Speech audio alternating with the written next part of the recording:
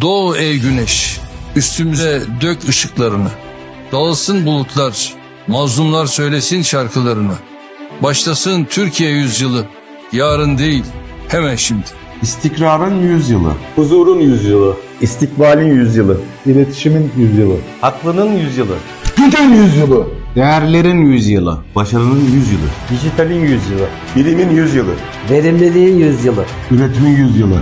Şefkatin yüzyılı. Sürdürülebilirliğin yüzyılı. Kalkınmanın yüzyılı. Hizmetin yüzyılı. Vefanın yüzyılı. Demokrasinin yüzyılı.